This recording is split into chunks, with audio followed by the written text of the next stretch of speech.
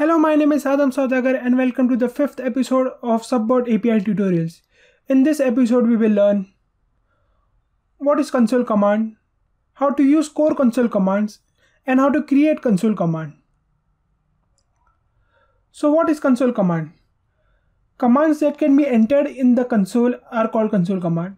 It is used to execute custom functions with or without arguments. So basically you can execute any code snippets during the execution of the bot at any time you want. So how to use core console commands? So let's find out. I execute the bot to get the interface to write the console commands. So when you see there is greater than sign, you can type in the commands.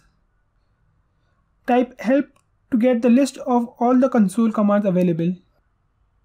Let's see how to use the run command for now. So we type help space run. Run command is used to run feature commands which is used in the bot from the console.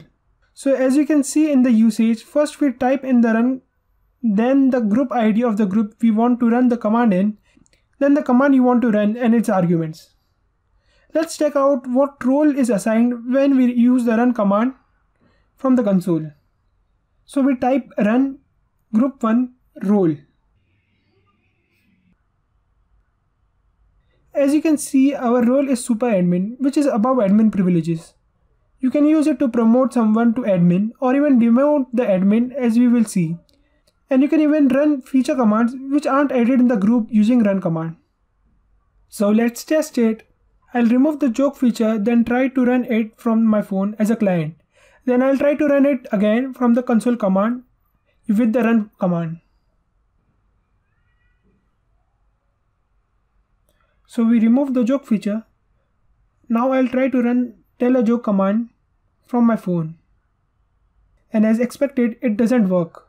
Now I'll try it from the console. And it works perfectly. Now let's try demoting an admin.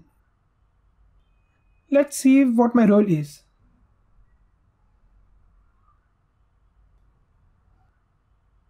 As you can see, I am a co-admin.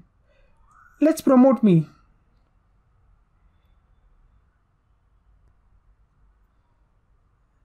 And now I'm an admin.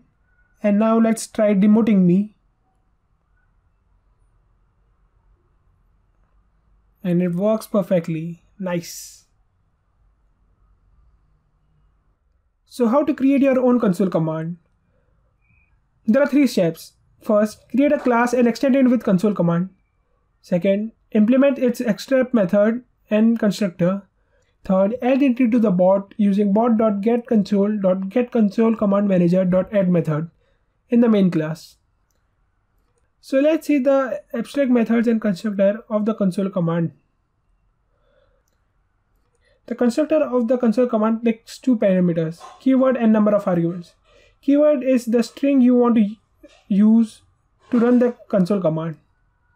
Number of arguments is simply the number of arguments you want to use the console command. You can assign it a value of minus 1 if you want to use variable number of arguments. Compute method is executed when you use a command in the console. Its parameter arguments contains the arguments passed in the command in the console.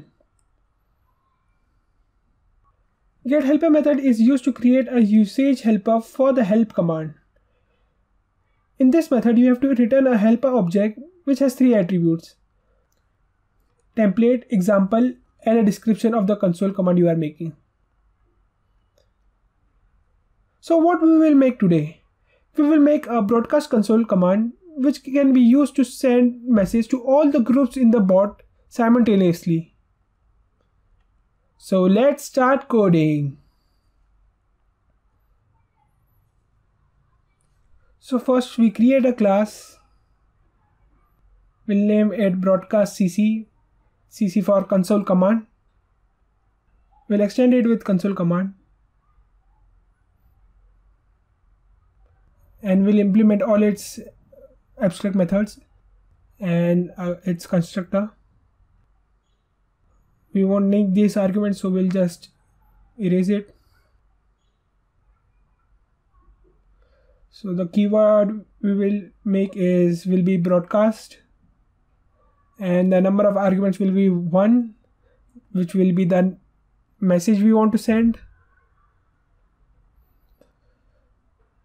So in the compute method basically we will have to get all the chat groups. Then we will loop through it and send the message from the argument. So we will get the chat group using the bot object. So the bot dot get chat group manager dot get or get chat group list and we will just have to create an action and add it in the action manager. The action will be send message action. If you want to send the message and we will just return something saying uh, broadcast initiated.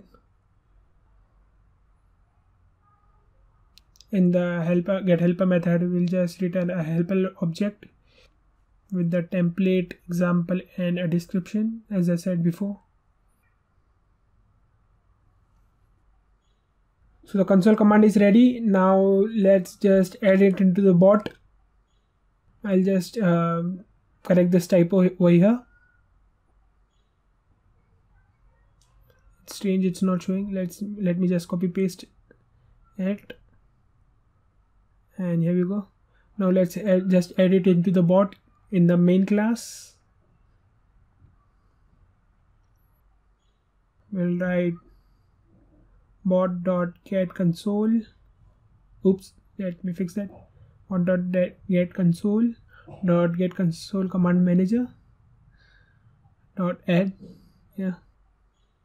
And we'll just uh, pass in uh, an object of the console command we just made. That's it. Now let's try it out so as we want to uh, try the broadcast command I added two more groups. Let's just add it into the bot. And they are added. Now let's try out the broadcast command. Let's see the usage of the broadcast command we made. As you can see it displays it perfectly. Now let's broadcast a message saying something like yo this is a broadcast. And as soon as I type it and press enter it starts sending the messages. And it works perfectly. Let's try it again using a different message.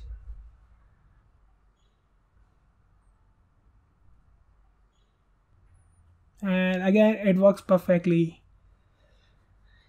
so thanks for watching people. So this time there's no exercise. You can try this out yourself if you want. If you have any problem you can contact me on discord or comment below. And i'll see you guys later